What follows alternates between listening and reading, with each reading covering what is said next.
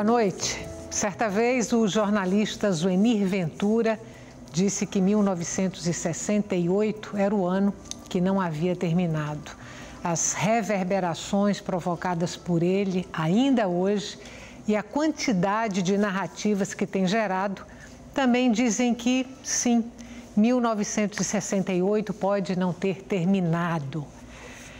Um novo livro se debruça sobre os acontecimentos daquele ano explosivo, desta vez a partir de uma perspectiva pernambucana. E é sobre esse livro que nós vamos conversar hoje aqui no Opinião Pernambuco. Participam o organizador do livro, o jornalista Homero Fonseca, e dois dos oito articulistas da publicação, a socióloga Esther Aguiar e também o jornalista e músico Marco Polo Guimarães. Boa noite. Boa noite. Grata pela presença de vocês hoje aqui no Opinião Pernambuco. 1968, Abaixo as Ditaduras, é o título do livro. O lançamento vai ser amanhã, 13 de dezembro, 50 anos do AI-5. E eu estou aqui pensando com os meus botões que provavelmente não é uma mera coincidência. De jeito nenhum. Foi, a data foi escolhida. Foi. Porque, na realidade, é, é o seguinte: a, a imagem que vem para todo mundo quando se fala em 1968 é Paris, Sim. maio 1968. E na realidade não foi Paris, nem maio, nem 68. Só.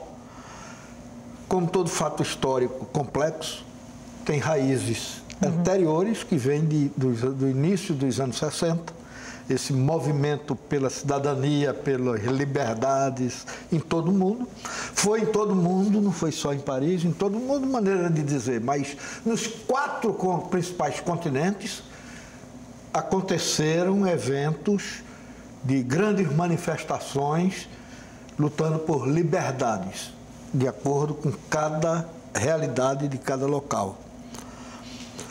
Então, no Brasil, havia uma ditadura militar e o movimento estudantil começou uma série de protestos, inicialmente em cima de reivindicações é, setoriais uhum. ligadas à, à educação, educação, até porque estavam se planejando uma reforma no acordo MEC e o ZEID. E o ZEID era uma agência de cooperação americana e os estudantes protestavam contra esse acordo, que era botar o modelo americano de universidade aqui.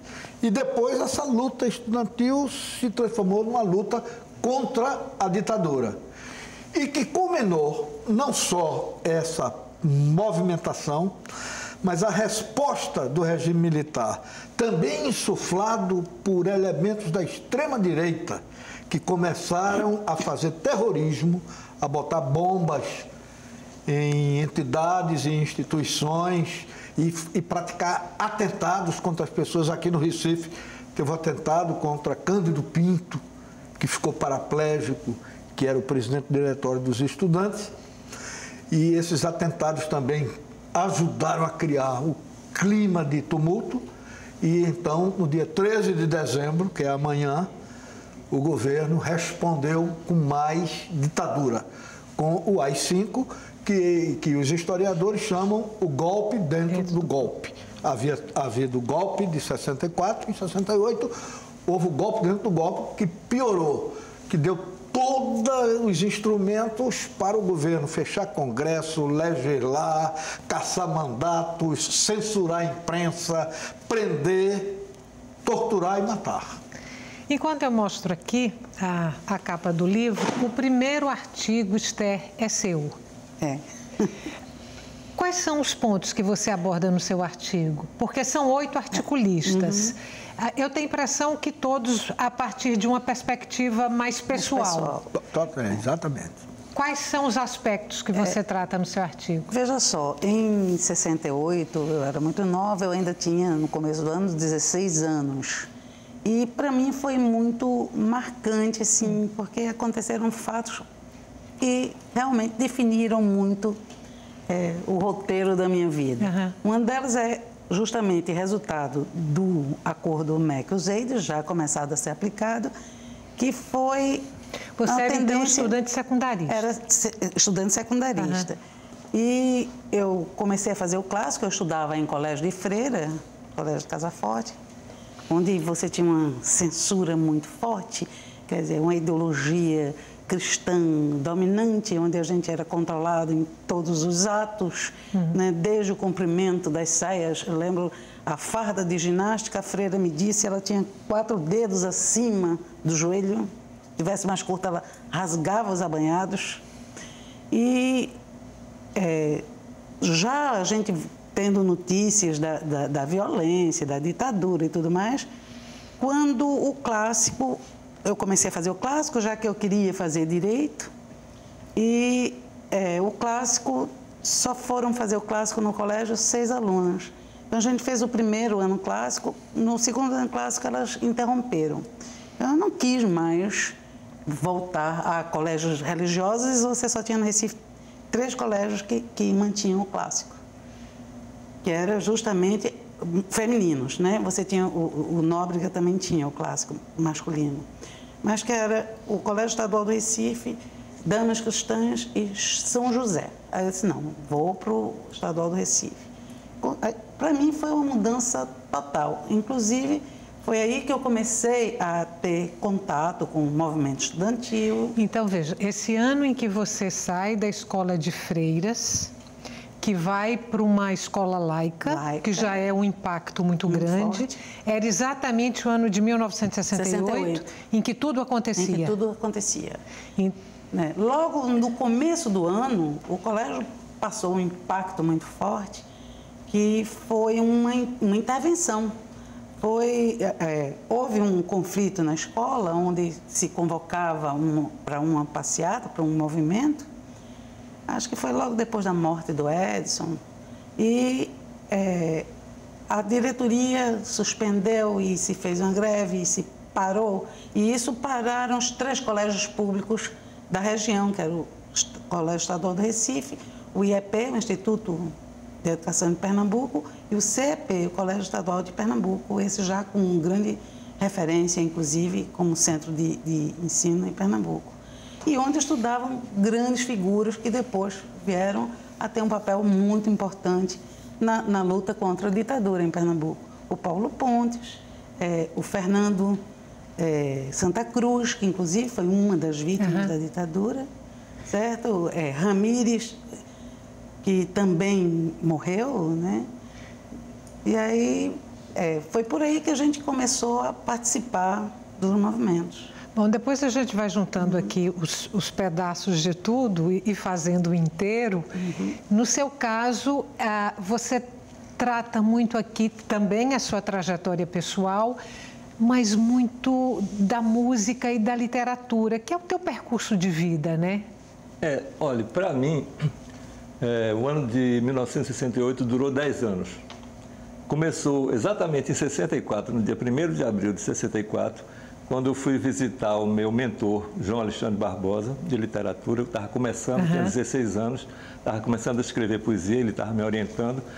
Chego na casa dele, ele está no quintal tocando fogo nos livros, dizendo que vai embora, que eu vá embora também, que não, que não me comprometa. E eu sem saber exatamente o que estava acontecendo, uhum. não sabia de nada. E aos poucos fui me, me informando sobre Fui, fui, nesse mesmo dia, fui para a pracinha, estava aquela confusão danada. Isso no entendi. dia primeiro? No dia 1 de abril, 64. E o garoto, 16 anos, eu tinha feito 16 anos no dia anterior, dia 31 de março. Que presente, hein? Oh, pois é. Aí cheguei lá na, na, na pracinha, estava aquela confusão, caminhão cheio de soldados, gente gritando.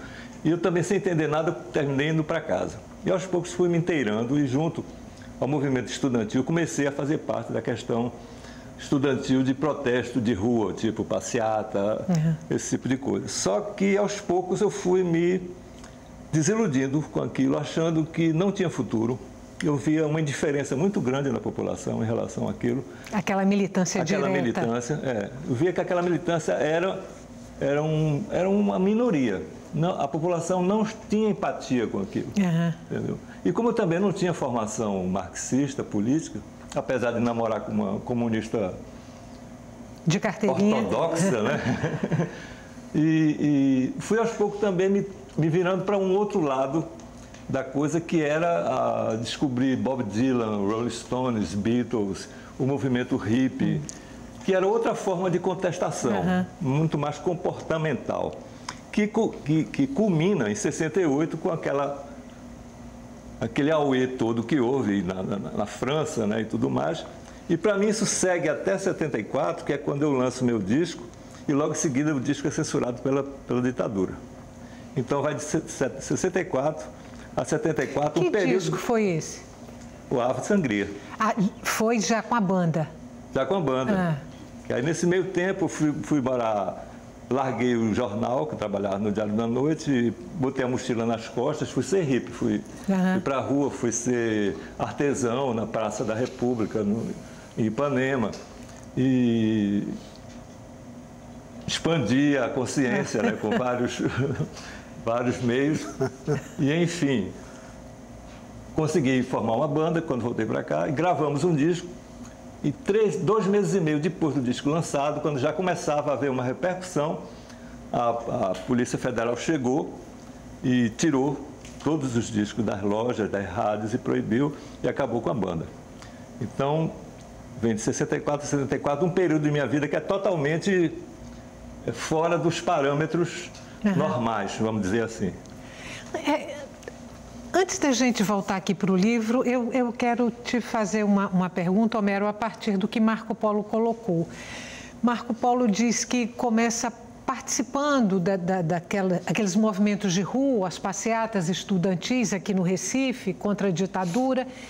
E aí chega à conclusão de que era um, um, um, movimento que não estava tocando a população, sensibilizando a população de um modo geral. Quando ele fala isso, eu me recordo aqui da passeata dos 100 mil no Rio de Janeiro, que foi exatamente em 1968.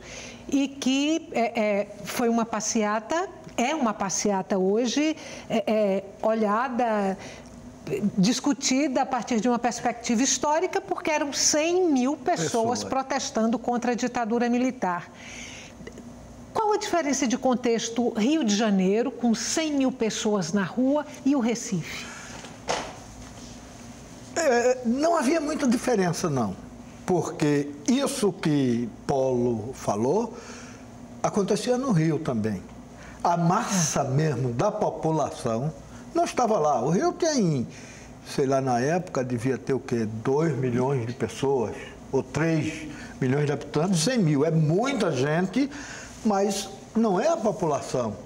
Era a, a passeata dos 100 mil, eram os estudantes secundários e, e universitários. E universitários alguns de escolas particulares e de escolas públicas, Artistas. Os artistas e intelectuais, aí Chico Buarque, Caetano Veloso, Leila Diniz, é.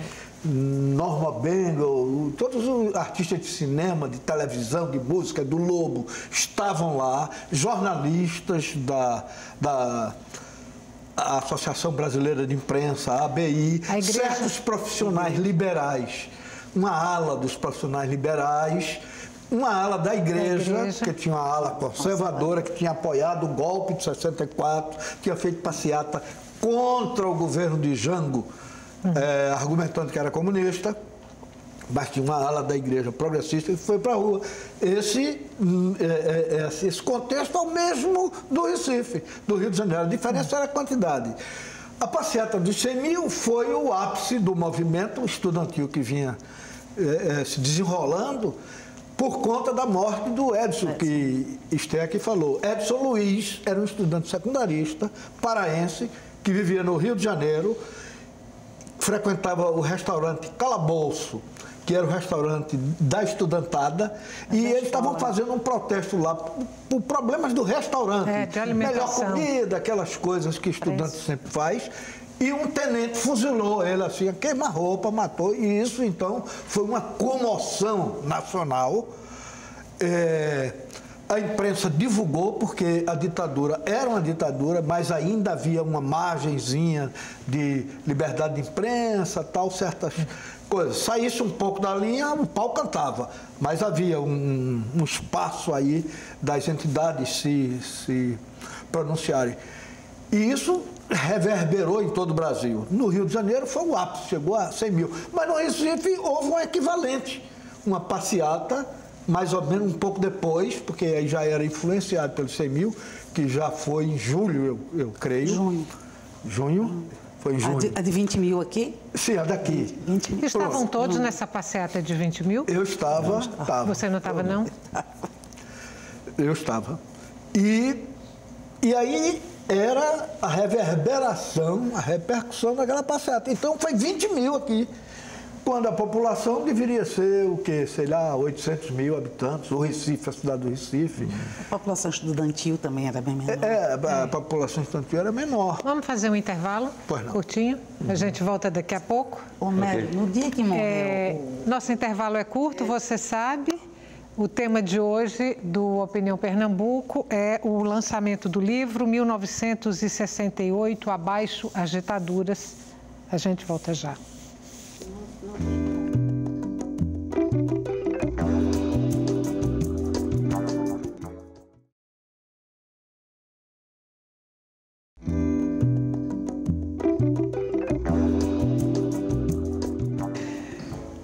Acaba de sair do forno um livro que comenta os grandes acontecimentos do conturbado ano de 1968, vistos agora a partir de uma perspectiva pernambucana. O livro 1968, abaixo as ditaduras, é o tema de hoje do nosso programa. Participam o organizador do livro, o jornalista Homero Fonseca, e dois dos oito, dos oito articulistas da publicação, a socióloga Esther Aguiar e também o jornalista e músico Marco Polo Guimarães.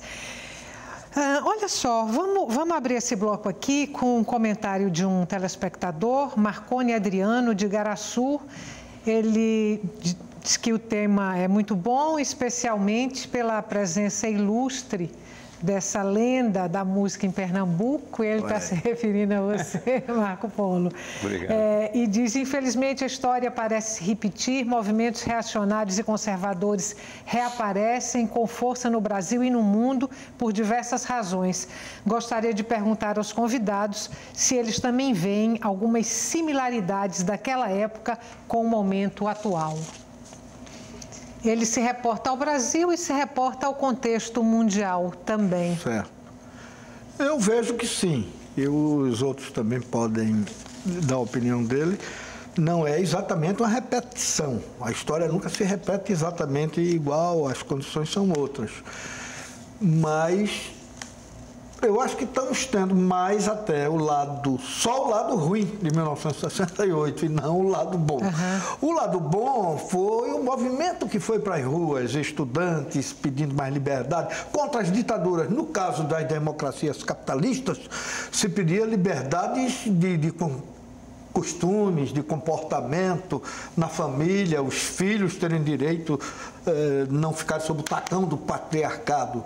Nas ditaduras comunistas do leste europeu, o, o, o povo foi à rua também pedindo liberdade formal, realmente, uhum. porque não havia. Nas ditaduras do terceiro mundo, na África, no Brasil, na Ásia, então era contra as ditaduras políticas, ditaduras militares. E, então isso era um alento. Depois veio a repressão em toda parte. Hoje nós não, não tivemos esse ano esse movimento pela liberdade. Nós só estamos tendo um aumento da repressão, um recuo. Esse é o meu ponto de vista. É, como é que foi para vocês? É, desculpe, você ia falar, mas como é que foi para vocês dois é, rememorarem as experiências todas daquele período num contexto como esse nosso atual para darem o testemunho de vocês para esse livro, para essa publicação da CEP? Olha, eu revendo a, a, minha posição, inclusive um pouco do que eu relato no texto, a gente vivia uma grande revolução dos costumes na uhum. época. Você tinha uma crise, inclusive, da crítica à moral tradicional. Então, acho que o maior exemplo disso é 68, na França, onde todo o movimento começa, inclusive com estudantes que brigam um direito à liberdade sexual. Uhum. Né? Você tem, um, em relação ao movimento feminista, um grande aumento do, da, da, participação feminina, das brigas. Foi o ano que, inclusive, começou a se queimar os sutiãs como um, um grito de liberdade uhum. da mulher. Os hippies também, o movimento hippie, inclusive nos Estados Unidos, principalmente contra a, a guerra do Vietnã, quando os jovens de classe média estavam morrendo né, uhum. na guerra do Vietnã. E isso tudo provocou uma mudança de costumes muito violentos. Então, é, você teve um, uma ascensão, inclusive, das mulheres no espaço social, que eu acho que é um momento muito forte e elas foram muitas vezes trazidas pelo movimento estudantil, pela participação no movimento estudantil. Entendeu? Um, uma relativa igualdade em relação aos colegas. Uhum. Então, acho que isso foi uma ruptura muito forte. Uma ruptura no, na forma de vestir, no padrão de comportamento, na linguagem. Você tem uma ruptura profunda na linguagem, inclusive na feminina. É quando as mulheres começam a falar palavrão, que era um absurdo uma mulher é. falar um palavrão. Né? Então ela começa a vestir ou saias compridas ou saias curtas, ninguém se incomodava. Tirar o sutiã, é, usar o biquíni, tudo isso foi uma transformação que Antes, por exemplo, a Leila Diniz chama atenção quando vai de, de biquíni grávida para a praia. Eu vi no, no, seu artigo que você adotou o biquíni. Eu adotei o biquíni, queimei a barriguinha toda. Assim. Tive uma insolação. Mas, não, e não só isso. O, o se movimentar, entrar, é, beber publicamente fumar. Eu comecei a fumar no Colégio Freira, na gruta escondida das freiras, para provocar as freiras. Inclusive, uhum. uma forma de provocação, já que a gente começava a criticar e não tinha espaço. O Colégio Freira, você não tinha espaço para fazer um movimento. Diferentemente do colégio público, inclusive, você tinha uma diferença social muito grande. Uhum. E uma liberdade de espaço muito maior. Para você, Marco Polo? Olha, eu inclusive falei para para Homero que para mim foi muito sofrido escrever esse hum. texto. Porque, apesar de tantas coisas boas que foram vividas, aconteceu de, em minha plena adolescência, cai sobre minha cabeça uma ditadura, que não é nada fácil para uma pessoa que está começando a vida. E houve muita conquista, houve, houve essa força né, por mudanças comportamentais muito importantes e, e, que eu acredito muito também a essa coisa do, dos desbundados, né? Que, uhum. que, eram os hippies, uhum. era um pessoal cabeludo, que gostava de rock, etc. Tal. Mas, por outro lado, eu agora que estou ficando velhinho, estou vivendo, estou cercado num mundo de uma grande empatia pela direita, pela extrema-direita, no Brasil pelo conservadorismo. Uhum. Então eu fico pensando assim, eu começo minha vida com uma ditadura e vou terminar cercado de, de, de, de, coisas negativas, né? Quer dizer, é uma coisa assim muito incômoda. Uhum. Então, realmente, durante a escrita desse texto, eu, eu realmente foi doloroso.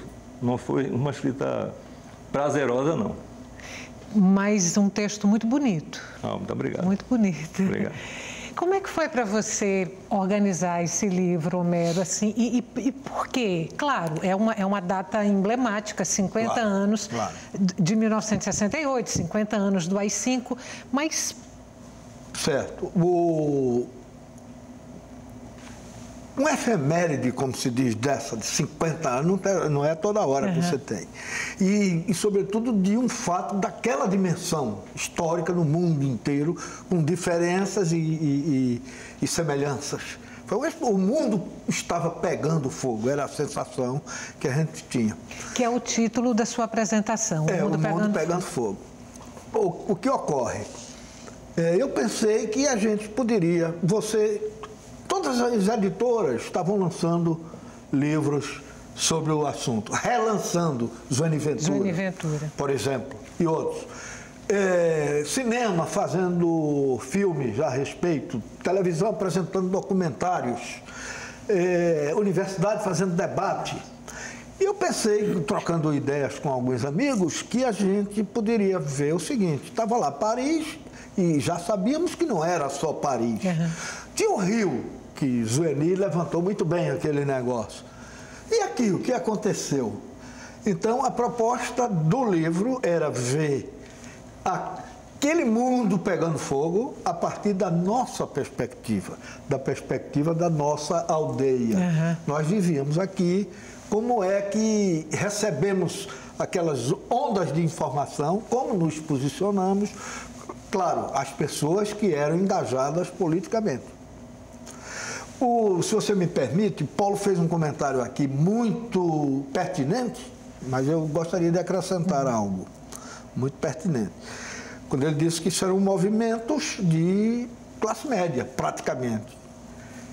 E era. E no Brasil, quase sempre, é, os que vão para a rua são quase sempre classe média. De vez em quando você tem greves importantes, do, e houve na história, do operariado, e mais de sete setores. Aqui em Pernambuco há uma tradição de mobilização no campo. As ligas camponesas. As ligas camponesas foram muito reprimido no, na, reprimidas na ditadura, mas tem uma certa tradição. Mas a maioria dos movimentos institucionais, você, contra a ditadura, a ditadura estava ali. Como é que o povão via isso? O povão é o seguinte, se a economia vai bem, ou seja, o sujeito tem um emprego e o sujeito tem um prato de comida para ele e para os filhos, ele está contente com aquilo.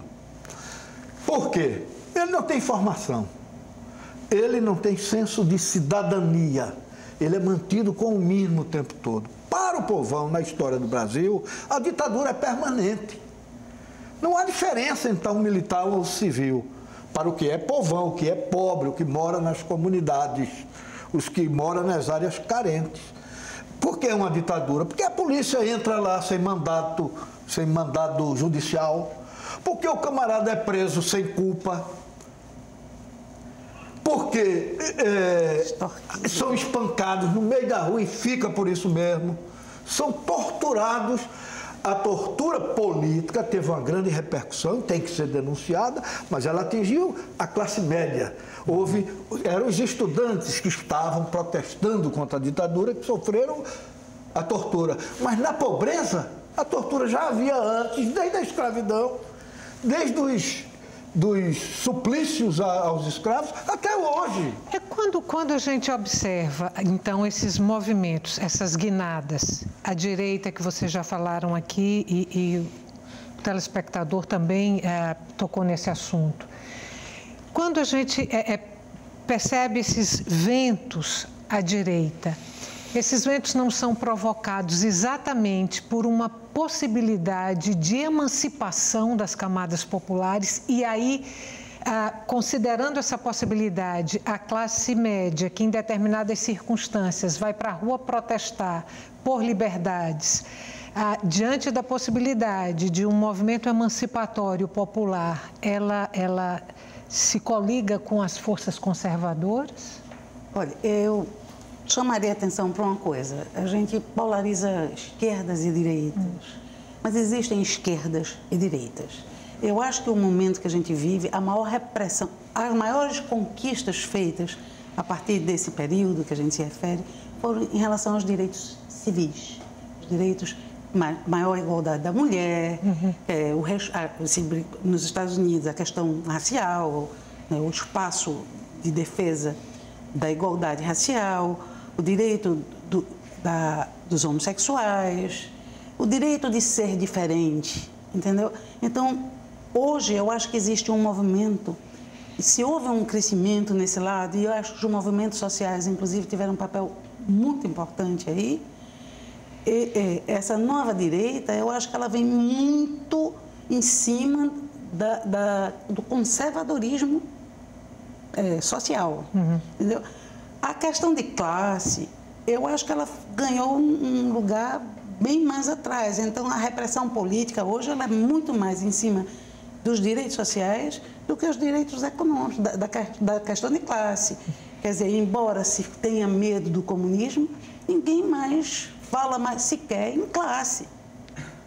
Entendeu? O, o próprio conceito de classe está muito difícil de, de, de, ser usado atualmente. Então, eu acho que existe uma relação em relação às desigualdades econômicas, mas eu acho que essa repressão maior, ela está vindo em cima dos direitos é, civis, dos direitos das conquistas sociais. Você, você coloca lá no seu artigo, Marco Polo, mesmo é, se afastando um pouco dessa militância direta, enfim, de bandeiras políticas mais, mais explícitas, você passa a ser um militante do, do, dos movimentos culturais e, de, enfim, de movimentos libertários, como é você, como você preferir chamar, mas mesmo assim você relata episódios muito repressivos. É, tanto de você na música, você como músico, como jornalista, de ser ameaçado, de, de, de ser sequestrado uhum. é, é, para parar uma, uma reportagem que você estava fazendo no Rio de Janeiro, um São assunto. Paulo. São Paulo, São Paulo, que você estava investigando. É, é, como é que era essa experiência assim, de, de, de rebeldia, de, de, vocação libertária, de, de, de, música e literatura pulsando assim, e você ter que conviver com, com essas situações de ameaça, inclusive, à sua integridade física? Olha, eu, eu sempre tive uma simpatia pelos piratas, pelos índios pelo, pelo...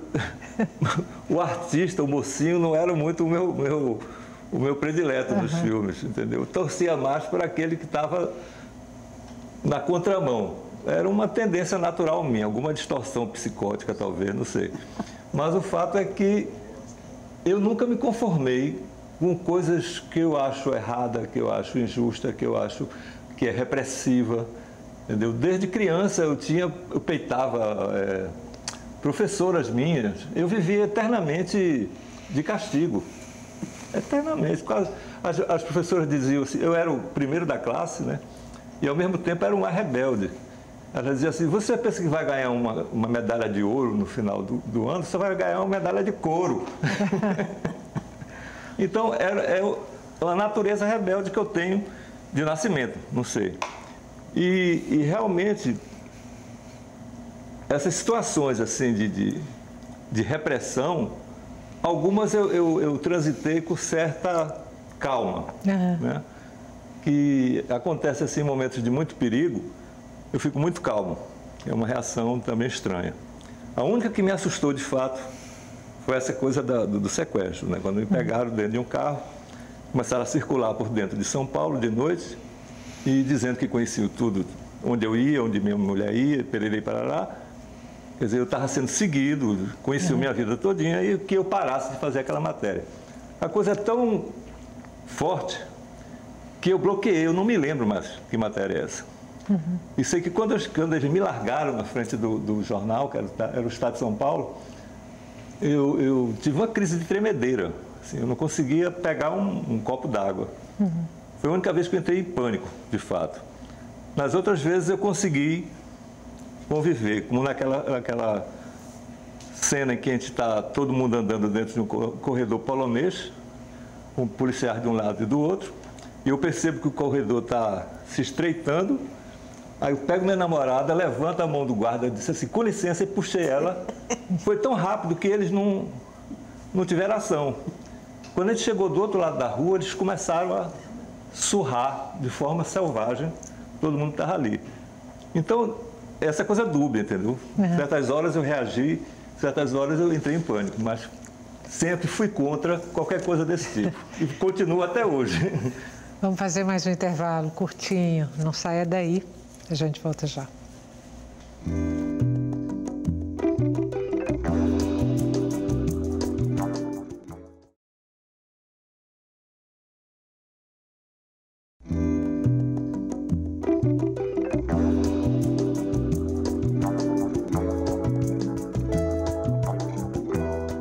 Estamos de volta com o terceiro e último bloco do Opinião Pernambuco. Nós conversamos hoje sobre a conturbada década de 60 e sobre o livro 1968, Abaixo as Ditaduras. Participam do nosso programa o organizador do livro, o jornalista Homero Fonseca, e dois dos oito articulistas da publicação, a socióloga Esther Aguiar e também o jornalista e músico Marco Polo Guimarães.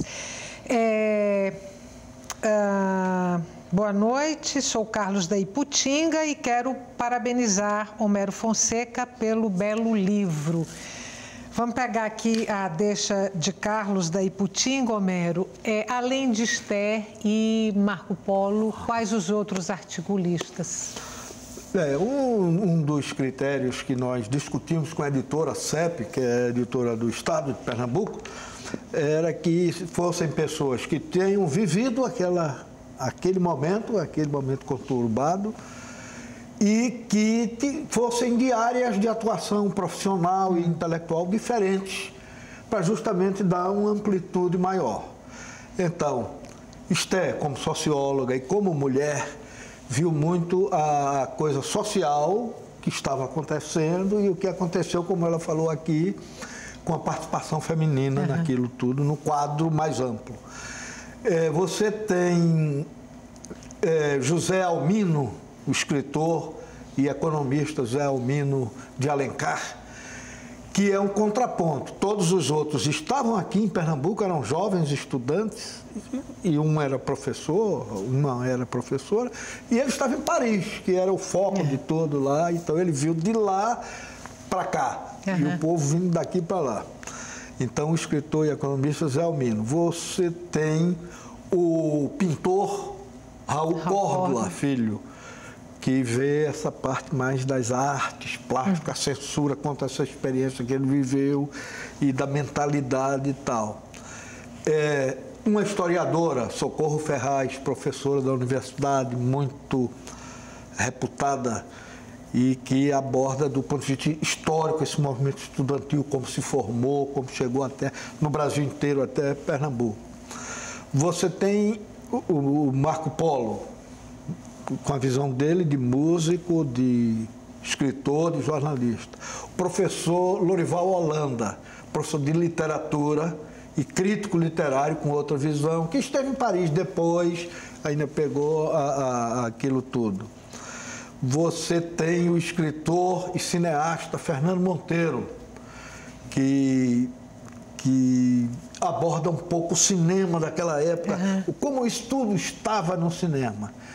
O dramaturgo e diretor de teatro Benjamin Santos, que ele é piauiense, mas que vivia aqui, e que conta também como era o movimento teatral daquela época e como isso se encaixava com a questão cultural. Foram esses critérios que tentando mostrar por várias áreas para não ficar repetitivo. Uhum.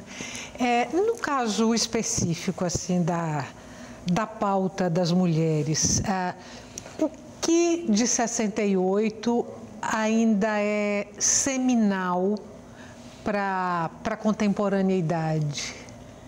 Olha, eu acho que em 68 ele, as mulheres sempre lutaram por hum. igualdade. Você, agora, elas não tinham um movimento organizado. Uhum. Então, acho que 68, é, já, você já, logo depois você vai ter já a segunda onda do feminismo. E eu acho que no, na relação da, dos direitos e garantias, as mulheres cresceram muito. Em relação à participação, eu acho que também houve um movimento de ascensão das mulheres. Mas até hoje ainda perdura uma desigualdade muito grande entre os sexos, no Brasil e no mundo. É, até hoje as mulheres têm menos postos de comando no trabalho, na, na participação política. Uhum. Até hoje, muitas mulheres é, enfrentam a dupla jornada de trabalho que dificulta extremamente a participação. E mais sério ainda, até hoje, calcula-se que aproximadamente 40% das famílias brasileiras são mantidas, são sustentadas por mulheres. Então, acho que houve grandes avanços, mas também eu acho que a desigualdade, toda desigualdade é muito difícil de, de ser vencida, ainda é muito forte. E então acho que os princípios de 68, eles ainda hoje são, é, são válidos e é, permanecem como bandeiras de luta. Foi uma época em Pernambuco é, de protagonismo do movimento musical. Estou é, aqui pensando e posso estar enganado, obviamente, vocês aí vão, vão discordando, se for o caso, que talvez, no caso do teatro, o protagonismo da produção teatral pernambucana tenha sido um pouco anterior, ali na época do TPN, aquela coisa toda, né, Homero? É, mas chegou até 64, estava ali, Hermilo Borba é, Hermilo, é. Uhum. Mas foi um momento especialmente uh, importante, uh, para a produção musical? Porque aí estou lembrando aqui da banda de vocês, uhum. da Sangria, Flaviola, é, Lula Cortes e coisas que, que ainda hoje são reverenciadas. Uhum. É, na verdade, em 68 aqui era um paradeiro só. Tanto que eu comecei a ficar agoniado de viver aqui, porque eu vi, via que lá fora as coisas estavam acontecendo, aqui não estava acontecendo nada. E foi quando, em 69, eu peguei a mochila e saí uhum. pelo mundo. Agora, quando eu voltei, em 72, eu encontrei aqui uma efervescência musical similar do Mangue Beat, guardadas as proporções. Sim. Então, tinha várias bandas, como Flaviola e o Bando do Sol, é, Nuvem, Nuvem 33, tinha Lula Cortes, Zé Ramalho, tinha Olha, era tanta gente. Tinha Robertinho do Recife, uhum. Aristides Guimarães com o Laboratório de Sons Estranhos. E tinha gente que no início a gente chamava de Tamarineira Village, assim, a portuguesada uhum. Village. E, e, eu cheguei em, em setembro, final de ano, e em novembro, dezembro, houve um festival em Fazenda Nova, promovido por um grupo de estudantes da Unicap e da Federal, e coordenado por Laílson, que era também de uma outra banda chamada Fetos. Laílson que é músico e cartunista. Uhum. E foi uma espécie de Woodstock nordestino, porque pela primeira vez a gente ocupou ali o palco da, de Fazenda Nova, centenas e centenas de jovens, que aí veio gente de, de João Pessoa, de, do Rio Grande do Norte, de todo o Nordeste veio gente. Foi quando a gente descobriu que nós não estávamos sós e que não éramos só aquele grupinho, uhum. que havia muita gente que estava envolvida naquele mesmo projeto. Tanto os, os músicos, que os protagonistas que faziam música, como aquelas outras pessoas que também compartilhavam desses ideais de uhum. libertação, né? de igualdade entre os sexos, de, de sexo livre para as mulheres de respeito aos homossexuais e negros, que a gente não tinha nenhum preconceito, pelo contrário. Enfim,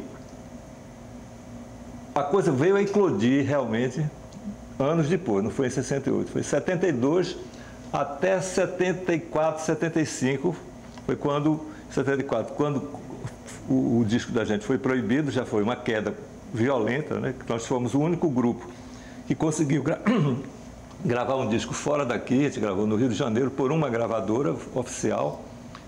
E os outros gravaram discos independentes ou pela Rosenblit. Rosenblit. E são todos discos que você disse reverenciados até hoje. Uhum. O nosso, a Sangria, Pai Biru, que é de Zé Ramalho e Lula Cortes, o Sátiva, que é de Laílson e Lula Cortes, o do Sub-Reino dos Metazoários, que é do. Fugiu o nome dele agora.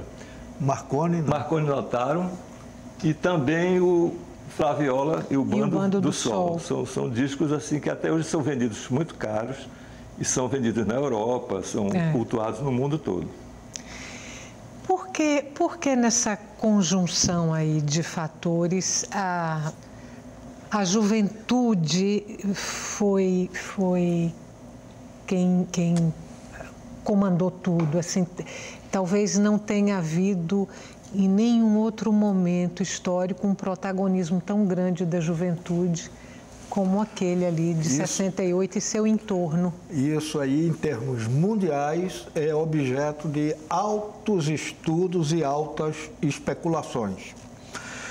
é,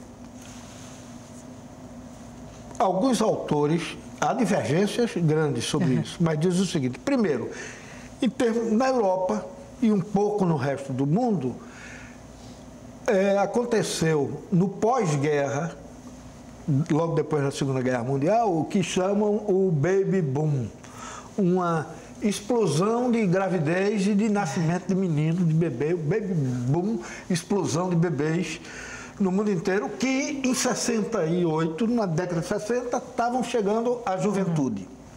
Segundo, isso uma das linhas de interpretação. Segundo, houve um momento de, depois da guerra de recuperação econômica é, em toda parte, mais ou menos, uns mais, outros menos. A Europa recebeu muito dinheiro para se reconstruir. E, e essa, essa, essa reconstrução econômica, essa bonança econômica, fez com que muitos desses jovens conseguissem chegar à universidade, uhum. que antes era muito mais restrita. A universidade sempre foi uma coisa elitista. Ainda hoje é menos um pouco, mas era uma coisa de elite. Então a universidade começou a se democratizar. Então essa meninada, você junta com os hormônios da juventude, o, o, desejo, a generosidade que o jovem ainda não foi contaminado por certos conservadorismos de, de, de valores e de acomodações na vida. Ele quer é, como Paulo falou, quer contestar, quer perguntar por quê, como as criancinhas também fazem, por que isso, por que aquilo. Então, isso explicaria um pouco esse protagonismo da juventude, que é inédito, realmente, uhum. Estela, você percebeu bem. Em todo, qualquer movimento da Revolução Francesa, no século XVIII, tinha jovens no meio, mas não eram os protagonistas. Para as mulheres, tem um acontecimento marcante que é em 60 a, a industrialização da pílula, pílula anticoncepcional. Que aí deu uma liberdade grande no ponto de vista do comportamento. Até então o jovem não tinha vez, nem tinha voz. 59, nos né? anos 60. Você falava, mas só se ouvia o que o velho dizia, quem tinha mais de 30 anos, como se diz. Você falava, mas ninguém prestava atenção no que você dizia. Foi a primeira vez que o jovem começou a reivindicar uma voz. Quer dizer, não havia internet, mas os jovens estavam todos conectados no mundo todo. Deixa eu mostrar o livro aqui mais uma vez, e o tempo da gente está no finalzinho. Homero, o lançamento vai ser onde e a que horas? Amanhã, quinta-feira, no Museu do Estado de Pernambuco, a partir das 19 horas. Quem não for para o lançamento vai comprar o livro onde? Na própria loja da CEP, que é Companhia Editora de Pernambuco, que é onde se faz o Diário Oficial, uhum. em Santo Amaro, ali na rua Coelho Leite, e nas livrarias, nas principais livrarias. Se não tiver peça, que eles encomendam. É, antes... Eu acho que ele é, é, um livro seguinte: quem viveu aquela época vai lembrar. Quem não viveu vai ficar sabendo muita coisa. É, antes da gente terminar, tem aqui outras postagens dos telespectadores. Eu vou ler, vou ler essa daqui. Meu nome é Edivan, moro em Tegipió. Ah, o povo não votou na ditadura, voltou para protestar contra a roubalheira do país e viu um candidato de direita, num candidato de direita militar, uma esperança enganadora de moralismo, pois na ditadura também havia roubalheira. Ah, é a opinião de Edvan de Tegipió.